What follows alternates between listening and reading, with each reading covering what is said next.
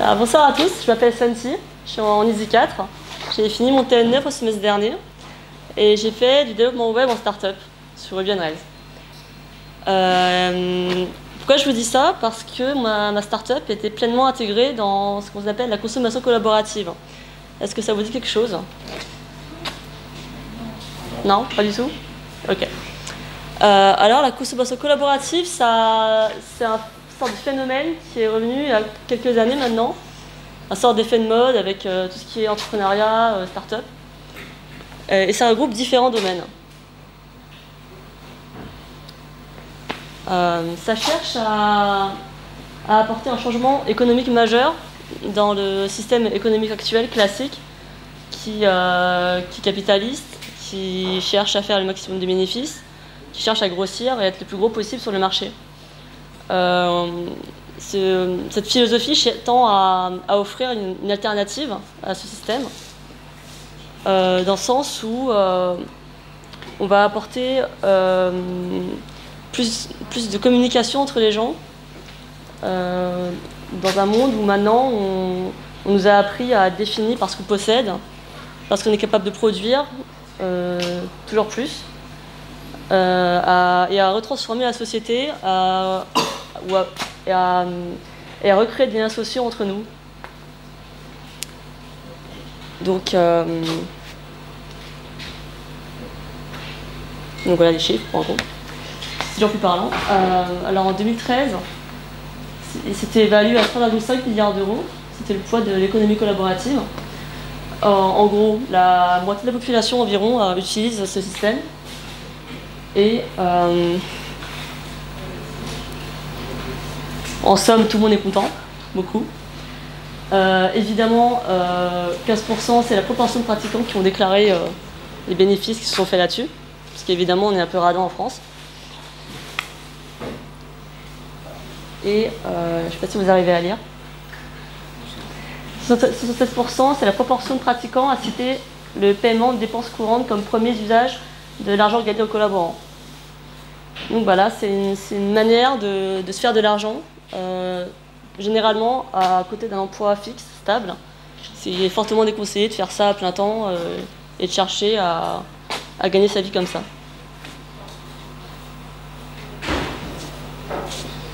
Alors, J'ai une question pour vous du coup. Euh, combien d'entre vous ont une voiture ici à UTT Ça fait pas beaucoup. Euh, et combien d'entre vous viennent en voiture C'est fou. Et en bus Et à vélo c'est cool. Euh, L'UTT, c'est assez excentré du centre-ville. C'est pas forcément évident de venir. Euh, Il y a certes des bus qui, euh, qui ont en plus diminué de prix cette année, donc c'est assez intéressant. Mais ça reste peu évident, dans le sens où même aux heures de pointe, on a, on a, on a difficilement accès à, à des horaires assez convenables pour nos cours. Euh, donc, vous voyez où je veux en venir Euh, Le principe, c'est de partager les ressources, partager les, biens, matériels gros, comme les voitures. On n'a pas forcément le moyen d'en avoir une, étant donné qu'on est étudiant, forcément avoir le moyen d'avoir un permis. Et d'où le principe de partager, euh, partager ce qu'on a. Donc je vais en venir donc à concrètement qu'est-ce que ça donne? Vous connaissez Uber, j'imagine.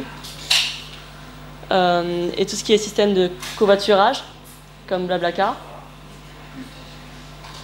Euh, euh, Drivey, c'est un système de prêt de, de location de voitures entre particuliers. Euh, Zipcar, c'est le même phénomène mais aux États-Unis seulement où c'est une sorte de, de, d'autocar, de euh, Autolib, comme à Paris, où c'est autogéré, où chacun euh, peut déverrouiller une voiture qui, appartient à Zipcar et la conduire.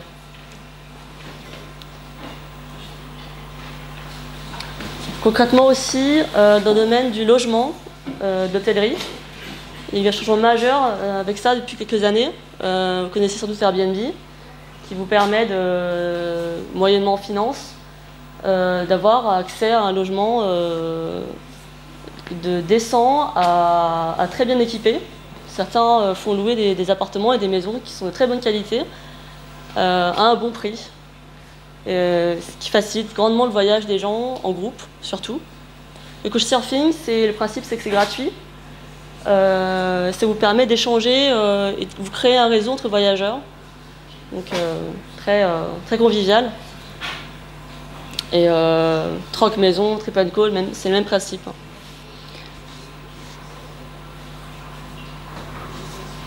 Euh, dans le domaine de la distribution, de l'alimentation, vous connaissez euh, Ecocampus euh, qui vend un panier chaque semaine. le principe est même à plus grande échelle. la ruche qui dit oui cherche à, faire ce qu'on appelle un circuit court, c'est-à-dire supprimer le maximum d'intermédiaires qu'il y a entre le producteur et la clientèle ce qui permet de mieux rémunérer les producteurs, de mieux les valoriser et, euh, nous bah, de consommer des produits frais euh, euh, et, de savoir ce qu'on mange en fait. Aussi de découvrir des produits qu'on ne sait pas forcément. Au-delà de ça, c'est l'effet boule de neige, on apprend à, des nouvelles recettes, on apprend à, échanger avec les gens qui utilisent ce, ce même genre de système. Euh, qui est de plus en plus utilisée. Donc, la ruche qui dit oui, elle, euh, est déployée dans les plus grosses villes, soit à Paris évidemment, mais vous pouvez en trouver un aussi à Troyes d'ailleurs.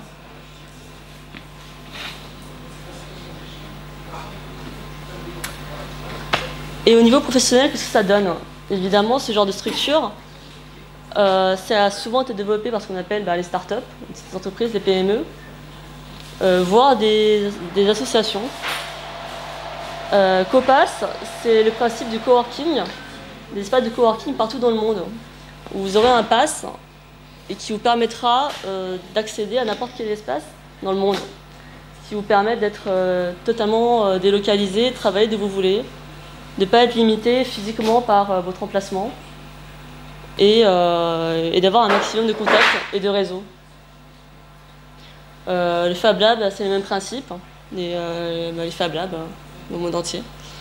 Et bureau à partager, c'est euh, mettre, en, mettre en commun euh, les bureaux que vous avez euh, parce que vous êtes un auto-entrepreneur, vous êtes une petite entreprise. Vous n'avez pas forcément les moyens de vous payer des locaux. Donc c'est mutualiser, mutualiser les locaux.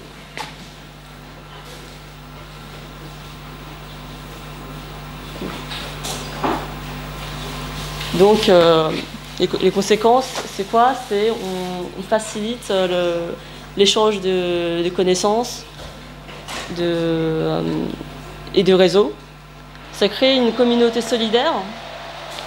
Ça crée euh, des gens qui se connaissent de plus en plus, qui ont, s'ils ont besoin de conseils, que ce soit techniques, financiers, dans ce monde-là, les gens sont très accessibles et vous, vous aideront dans votre démarche. Donc euh, le simple fait d'être en espace de coworking euh, facilite, euh, facilite, la croissance de chacun. C'est bénéfique pour tout le monde. ainsi que le crowdfunding. Vous connaissez sans doute toutes les plateformes de, crowdfunding qui vont permettre de, financer un projet. souvent pour des, par exemple, bah, je prends l'exemple de, puisque le précédent Barcamp de, était consacré à l'e-sport. Tout ce qui est jeux indépendants, par exemple, ça peut être très difficile à, très difficile à, financer. Et toutes les petites boîtes peuvent passer par là pour financer leurs projets. Et ainsi de suite.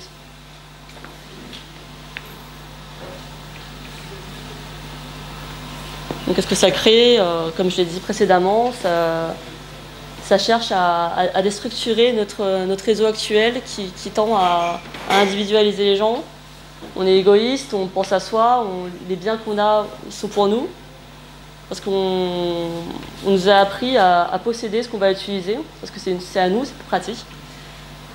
Et euh, dans une société où on est de plus en plus, où il est de plus en plus compliqué de gérer nos déchets, ce qu'on produit, si on continue de consommer comme ça, euh, ça ne donne pas forcément quelque chose de bon. D'où l'intérêt de si chacun donne de sa personne de tendre vers, un, vers une société qui se, renouvelle, qui se recrée.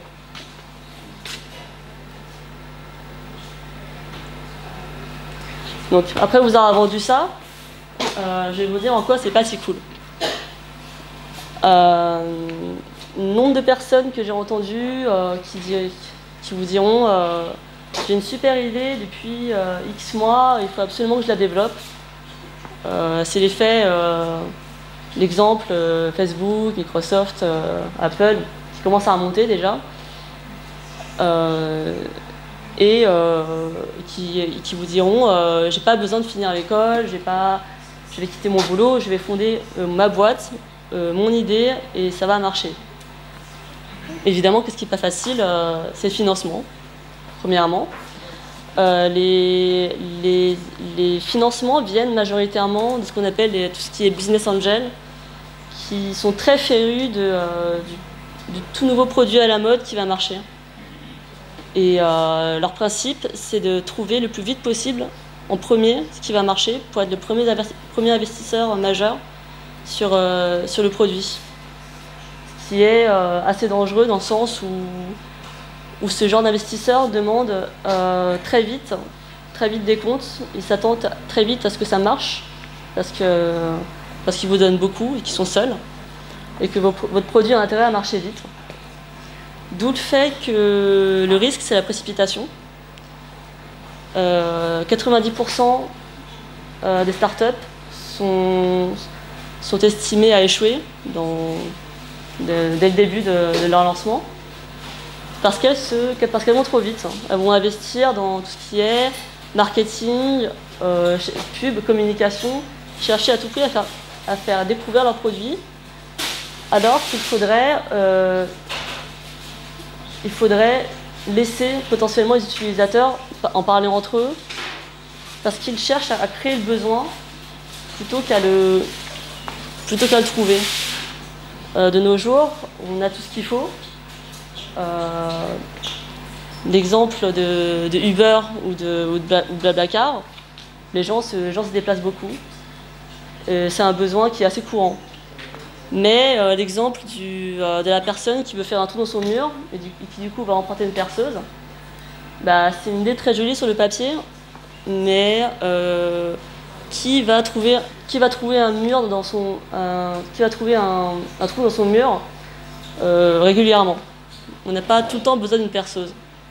même exemple que la machine à laver. Il y a un réseau, de, il y a un site qui qui a essayé de, mutualiser euh, les, machines à laver pour permettre aux gens qui n'en ont pas de faire sa lessive chez son voisin. C'est un très beau principe. Et il y a plein, plein d'idées comme ça qui se développent. Euh, mais c'est vouloir créer le besoin qui au final n'est pas là et euh, ça va juste échouer. Au-delà de ça, ce genre de site se base principalement sur la commission pour faire leur business model. Euh, de manière très classique, c'est prendre dans 5-10% sur la transaction qui a été faite pour se faire du bénéfice. Euh, bah, pour ça, qu'est-ce qu'il faut faire du coup? Euh, il, faut, il faut beaucoup, beaucoup d'utilisateurs pour une commission qui au final va être petite. On ne peut pas se permettre de prendre énormément non plus à chaque transaction, sinon ils ne voudront jamais l'utiliser le service. du coup, il faut beaucoup d'utilisateurs. Et ça, c'est dur d'avoir ça.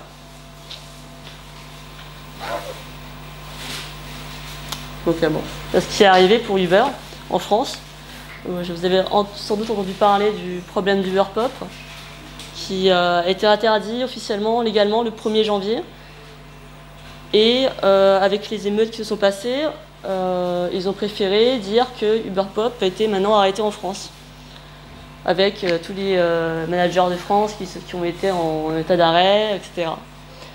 Donc ça pose pas mal de problèmes, euh, pas seulement en France, mais euh, dans pas mal d'autres pays, parce que ça cherche à transformer l'économie actuelle, et ça marche pas forcément, parce que c'est pas quelque chose que l'État arrive forcément à contrôler.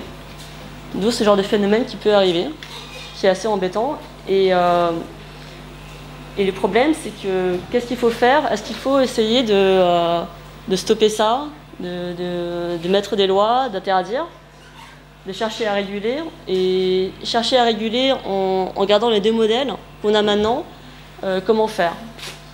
Donc c'est potentiellement euh, s'adapter, s'assouplir, ne pas chercher à tout prix à bannir ce qui est nouveau, euh, ce, qui va, ce qui risque de tuer l'innovation, mais de, de créer un, coexistant entre les deux, qui va pouvoir satisfaire les deux.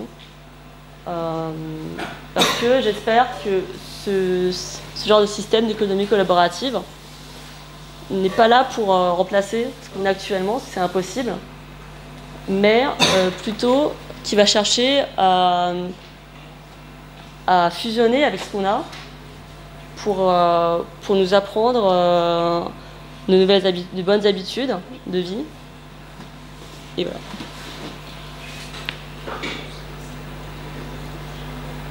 Voilà.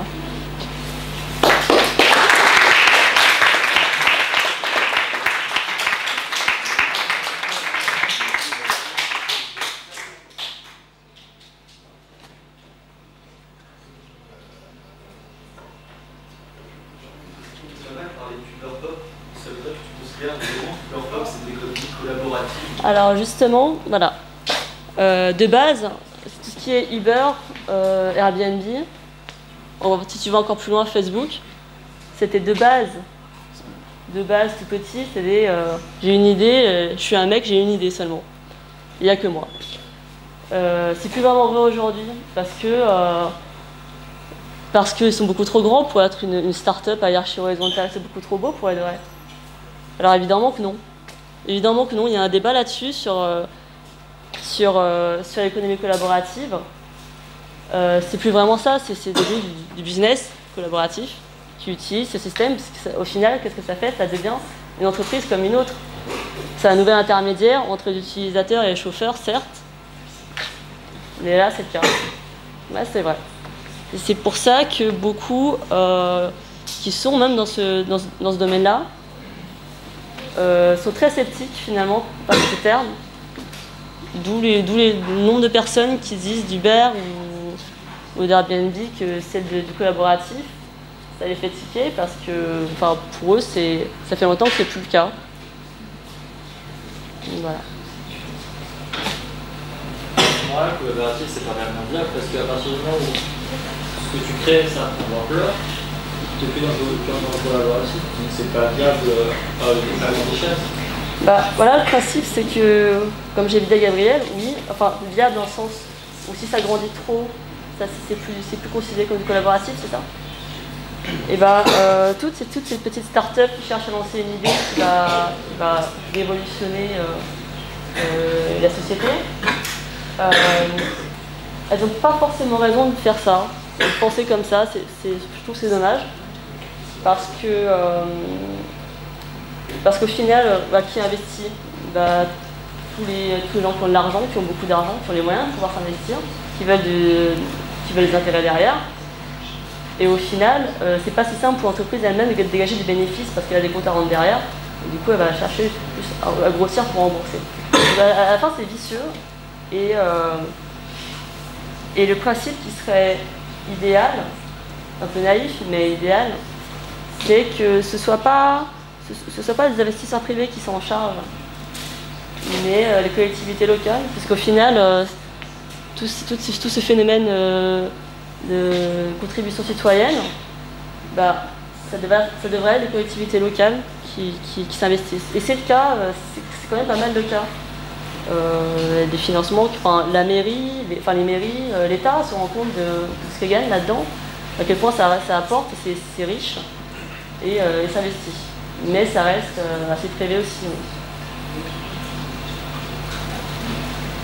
Euh, comme tu parlais d'Uber justement, qui est, qui est interdit en France, l'utilisation, est-ce que tu ne penses pas que c'est quelque chose qui puisse être difficile à mettre en place à cause en particulier des lobbies?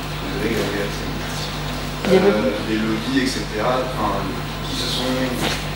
Enfin, toutes ces, ces sociétés qui créent qui sont basés sur un modèle de société de consommation qui est énorme. Là où tout le monde s'oppose un petit peu à la, consommation à l'excès. Est-ce que tu penses pas justement que c'est le lobby qui s'oppose qui pourrait vachement freiner ce genre de modèle ah, C'est déjà un peu le cas pour moi. Enfin, ça, c'est les taxis, euh, surtout en France, c'est connu qu'il y, a un lobby énorme derrière, etc. C'est carrément la matière. Bah. Moi, je ne saurais pas dire en fait. Il y a, il y a, il y a énormément, énormément de plateformes qui, existent, qui sont qui sont pas si mal foutus. Et euh, soit les gens sont pas assez au courant, soit ils en ont pas besoin, soit oui, il y a un frein ailleurs. Ouais. Et en autre frein d'ailleurs, justement, est-ce que tu penses pas que la notion d'indépendance est très très forte en Occident, où euh, les gens sont fiers d'être très indépendants, c'est pas un- aussi un frein de consommation qui justement partager, partager une voiture, là où avoir une voiture c'est une certaine fierté pour certaines personnes. Oui, c'est ce que je disais, c'est le, confort matériel que je peux tout à fait comprendre. Au fur et à mesure qu'on grandit, enfin, quand, quand, là, en ce moment, quand on fait des études, c'est pas pour rien, c'est parce qu'on a gagné bien notre vie. Et ça, je peux le comprendre. Euh, mais euh, de plus en plus à faire comme ça, pour moi, euh, ça va être compliqué si on veut tous la même chose. Typiquement, ça va tous être dans des grosses villes, enfin, je ne dis pas tous qu'on va être à Paris, mais par exemple, si tout le monde cherche à aller à Paris, gagner bien sa vie, euh, c'est déjà assez serré là-bas comme ça. Et, euh, et c'est pour ça que la mairie Paris, par exemple, cherche à développer tout ce qui est auto-libre, etc. Elle a fait venir un, une société américaine, en gros, qui cherchait euh, justement à, à être complémentaire à, à Autolib. Donc c'est les voitures, c'est un vrai problème. Mais euh, je ne sais pas si c'est l'Occident, je sais pas si c'est vraiment l'Occident de manière générale, même les Américains. les, euh, Ouais. Là où la culture d'indépendance est très forte. bah justement, ce phénomène de start-up comme vient quand même pas mal des États-Unis, donc ça marche pas mal, plus qu'en France, à mon avis. Donc, euh, mais voilà, je suis d'accord. Je suis d'accord qu'on est attaché nos possessions, ça c'est. C'est- Si en, nous, c'est difficile de, de changer euh, pour tous. Mais je trouve que ça touche déjà pas mal de, pas mal de gens, surtout les, tout ce qui est génération Y, euh, etc. Les, les gens qui étaient les plus touchés par ce genre de phénomène, c'est les, euh, les 20, 20 à 40 ans. Quoi. Et voir la génération à venir après, c'est qu'on va dire là-dessus.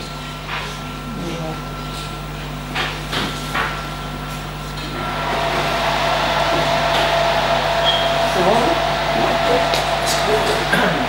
Cette économie collaborative ne fonctionnerait pas mieux sans argent Sans argent Simplement avec des échanges de services, par exemple Euh, et ben ouais, ça c'est revenir à, revenir à la base, ouais, je suis d'accord. Quelqu'un qui a posé ça, qui disait euh, pourquoi est-ce qu'on fait rentrer euh, l'argent dans cette histoire? Parce que le principe, tout simplement, c'est de communiquer. Enfin, le site où j'avais travaillé, c'était un prêt d'objets entre voisins. Le principe, c'est de se reconnecter avec les gens qui sont autour de nous. Euh, on en profite pour leur parler. Enfin, certes, tu as besoin d'un mixeur, mais pas que. Tu pourrais aussi, tu aussi lui parler tout simplement. Et ça, c'est le principe. Et ceci était, et, encore gratuit. Euh, sauf qu'évidemment, euh, bah, ça reste totalement, totalement bénévole. Les, les gens qui font des ceci ne pas du tout d'argent. Le problème, c'est que quand tu t'investis autant sur un, sur un projet, à un moment tu as besoin d'argent pour vivre. Donc ça, ça le problème. Mais je suis d'accord que euh, faut pas, faut pas forcément chercher à grandir, à être le plus grand et être euh, euh, le plus gros sur le marché, euh, sur la part du marché où